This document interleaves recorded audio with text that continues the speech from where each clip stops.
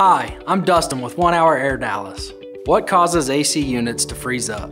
There are many factors to consider if your AC unit freezes up, including low or leaky refrigerant or freon.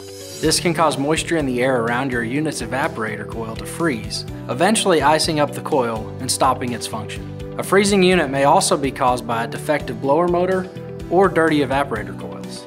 For any of your heating or air conditioning needs, give One Hour Air a call today. We're happy to help.